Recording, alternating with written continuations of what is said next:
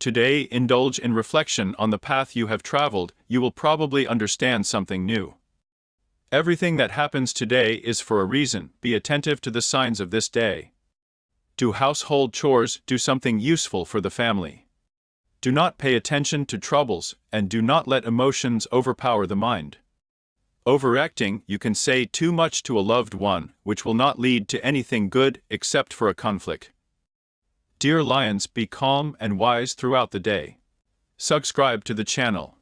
Get the forecast every day. Join us on Telegram, link in description.